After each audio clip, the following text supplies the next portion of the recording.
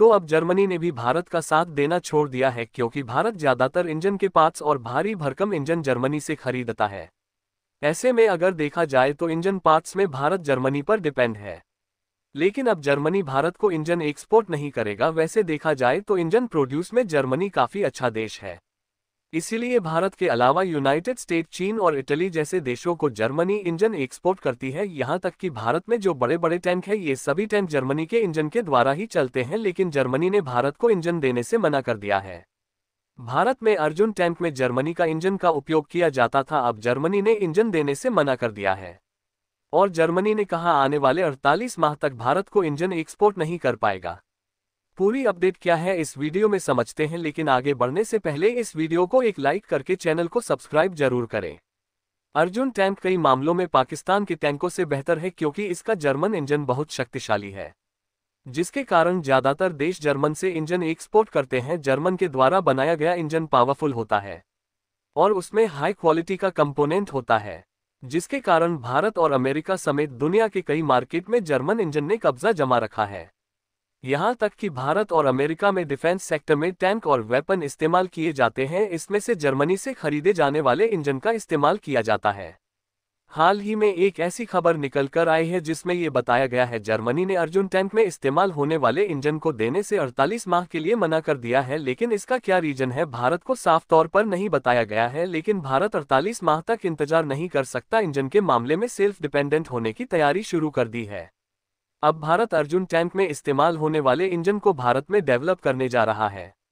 क्योंकि अर्जुन टैंक को बनाने का प्रोजेक्ट शुरू किया गया था, वह जर्मनी से इंजन की सप्लाई न होने के कारण काफ़ी ज़्यादा स्लो हो रहा है और भारत इतना इंतज़ार नहीं कर सकता। इसी कारण भारत ने अर्जुन टैंक में इस्तेमाल होने वाले इंजन को बनाना शुरू कर दिया है। इसके अलावा भारत में टैंक में इस्तेमाल होने वाले इंजन मैन्युफैक्चरर नहीं हो पा रहे हैं, तब तक इसके लिए भारत की एल अमेरिकन कंपनी से इंजन खरीदने का काम करेगी, जिसके लिए भारत के डिफेंस ग्रुप की तरफ़ से अमेरिका की कुछ कंपनियों से बातचीत हुई है, लेकिन जर्मनी ने इंजन सप्लाई से मना किया है। ये भारत के लिए काफ़ी चिंताजनक है क्योंकि भारत में सबसे अधिक ताकतवर और दमदार एक अर्जुन टैंक है जो कि यह अर्जुन टैंक रेगिस्तान में चलते हैं और ये दुश्मन के सामना करने के लिए काफ़ी है। इसके निशाने से कोई भी देश चूक नहीं सकता, लेकिन अब अर्जुन टैंक में इंजन नहीं मिलने के कारण पुराने टैंक को रिपेयर किया जा रहा है।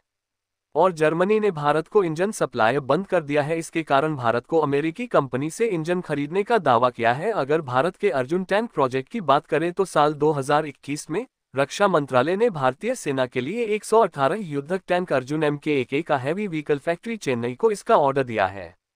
ये ऑर्डर सात हज़ार पाँच सौ तेईस करोड़ रुपए का है। हालाँकि इंजन के उपलब्धता के कारण इन टैंकों की डिलीवरी टाइम पर नहीं हो रही है। इन टैंकों के बाकी हिस्सों का निर्माण भारत में होता है, जबकि जर्मनी इंजन की सप्लाई होती है और कंपनी ने ऑर्डर पूरा करने के लिए काफ़ी वक्त का समय दिया है, जिसके लिए निर्धारित डिलीवरी के लिए चुनौतियाँ खड़ी हो चुकी है। हालाँकि जर्मनी से कुछ इंजनों की सप्लाई पहले हो चुकी थी, लेकिन बाद में फिर से इंजन की सप्लाई करने से जर्मनी ने मना कर दिया। जर्मनी से इंजन सप्लाई के लिए मिले धोखे की वजह से इसका फ़ायदा भारत की वह कंपनियाँ उठानी चाहती है जो कि अर्जुन टैंक प्रोजेक्ट में शामिल थी।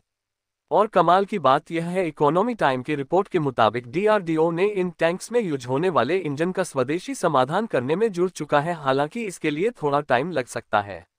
लेकिन यह असंभव बिल्कुल भी नहीं है, पिछले साल 2023 के अक्टूबर में लाइट टैंक के लिए जर्मनी की तरफ़ से इंजन सप्लाई बंद करने के बाद अमेरिका के कमेंट्स इंजन को खरीदा गया, जिसे जर्मनी को एहसास हुआ कि वह इंजन की सप्लाई न भी करे तो भी भारत का कुछ नहीं बिगाड़ सकता और इसलिए जर्मनी ने अमेरिका को सस्ते दामों में अर्जुन टैंक का इंजन देने की बात कही थी, लेकिन जर्मनी ने कुछ समय पहले जो गलती की थी वही गलती फिर से दो रह दी है।